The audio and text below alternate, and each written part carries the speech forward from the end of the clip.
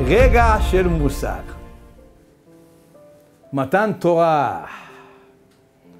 הרגע הנפלא הזה, כל העולם כולו רועד לשמוע מה דברות הקדוש ברוך הוא. פסוק אומר, ויקרא אל משה מן ההר. זה אומר אליו.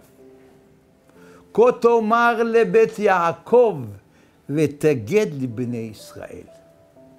מי זה בית יעקב? זה הנשים. קודם כל לנשים, תאמר, אחר כך לבני ישראל הגברים. שאלו חכמינו, למה את הנשים הקדים לגברים? למה?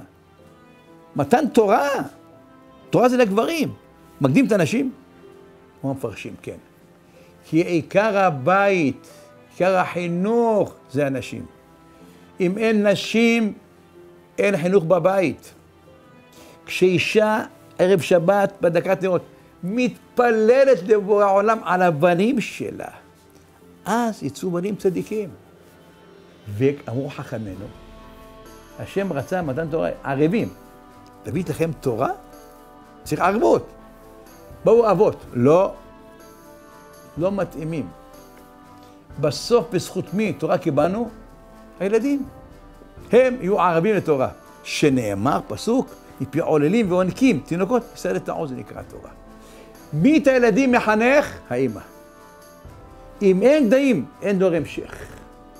עם ישראל בנוי על יסודות של ילדים, הם ההמשך. לכן, מתן תורה, הקדים כה תאמר לבית יעקב, האימהות היקרות, הקדימו אתכם, למה? שאתם יכולות להיות, כוחכם ליצור את ההמשך לעם ישראל. יהי רצון שנזכה, נעשה רצונו כרצונו, לא בלבב שלם, וכן יהי רצון ולומר אמן.